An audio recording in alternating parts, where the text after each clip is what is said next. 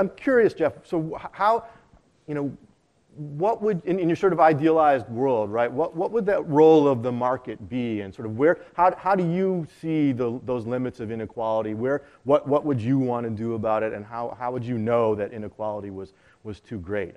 Well, first of all, let me say I am a believer in capitalism. I'm a believer in the free market. I uh, have recently written a book which is, I'm sure you'll love this, a Marxian defense of capitalism.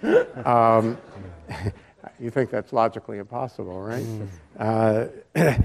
Uh, so, you know, I believe in it. I believe that the, the main contribution that comes from the market, and this is a moral thing, is uh, uh, dramatically increasing the standard, the material standard of living of people. I think this has been going on now for a long time. I think it's going on globally now because of the spread of capitalist reforms.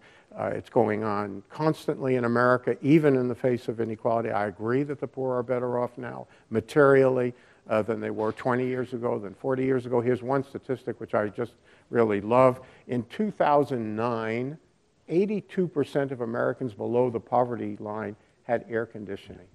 Think about that, you know. And imagine what they had 20 years ago or 40 years ago, okay? You know, so that's a way in which capitalism is working. But I mean, that's very general. Okay? That is across the board.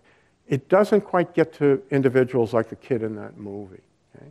There, I think that the question are questions about discrimination, about poor education, um, and related ideas like that, which I don't think you can just exclude the role of government there somehow because uh, uh dogmatically.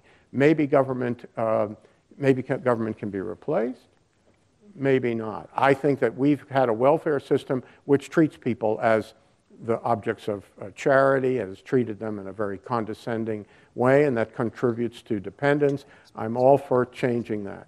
Okay? But, you know, I'm not worried about the dignity of of charitable givers. I'm worried about the recipients who think, you know, only because of the kindness of these more successful people do I get it. It's not because I, I deserve it, you know, that the society owes me some kind of uh, fair share. Jeff, and, I want to give I want to give Steve a chance yeah, to respond real quick Just and then re- wrap it up. Course. Real quick, I think the only comment I'd make there is the assertion that government isn't the solution to these problems or, or perhaps isn't necessary, for me, is not a dogmatic assertion. It's an empirical question. Has government worked at these things? Can it work at these things? That's the question. And I think it's got a more mixed answer. It's worked some and worked and failed some. So let's make it work more.